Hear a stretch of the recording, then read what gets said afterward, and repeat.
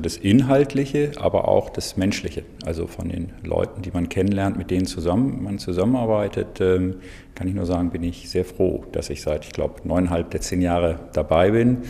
Ähm, das Inhaltliche natürlich, also was am Anfang als System entwickelt worden ist, inzwischen Referenzsystem, das ist der Aspekt Zertifikat für mehr Nachhaltigkeit in der gebauten Umwelt, aber auch, dass wir insgesamt ganz breit aufgestellt sind, immer wieder in gesellschaftliche Debatten eingreifen und das Rüstzeug eigentlich nehme ich dann mit aus den Diskussionen und Gesprächen in der DGNB. Das ist für mich so zehn Jahre DGNB ganz schnell eingedampft, viele spannende Themen, spannende Gespräche, aber auch mit dem Output. Wir haben, glaube ich, das Referenzsystem nachhaltiges Bauen weltweit, an dem sich viele orientieren und das mit tollen Menschen.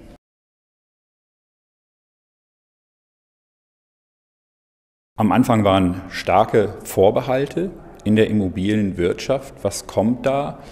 Ähm, ich glaube, die ersten ein, zwei Jahre waren davon geprägt. Das ist ja nur ein Hype. Das ist eine neue, was ja in jeder Branche so ist, egal wo wir sind, nicht Automobil, Bauen, Immobilien, wo auch immer, gibt es immer so Modethemen, die für ein, zwei, drei, vier Jahre aufkommen, wieder verschwinden.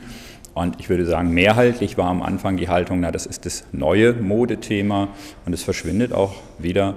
Und es ist inzwischen völlig langweilig normal und jeder hat relativ schnell gemerkt, das ist kein Modethema, das ist inzwischen einfach eine Selbstverständlichkeit, das wird gemacht, das wird mit beachtet. Das ist einfach eine Anforderung, ich baue nach einem B-Plan und wenn ich in bestimmten Lagen oder Situationen oder bestimmte Bauwerke errichte, dann sind die auch nachhaltig.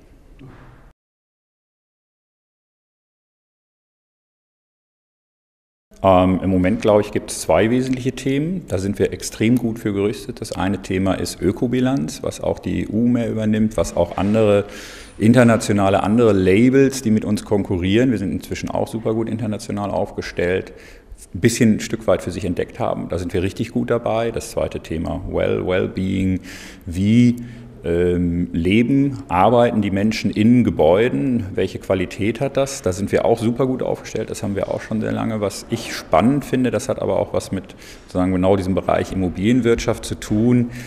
Gebäudeeigentümer, Gebäudeentwickler, Asset Manager, Investoren, Bauherren, also die Eigentümer, wie gehen sie mit dem Bestand um? Und äh, der größte Teil des Bestandes in Deutschland ist halt noch nicht so energieeffizient, so nachhaltig vielleicht, wie wir uns das wünschen würden.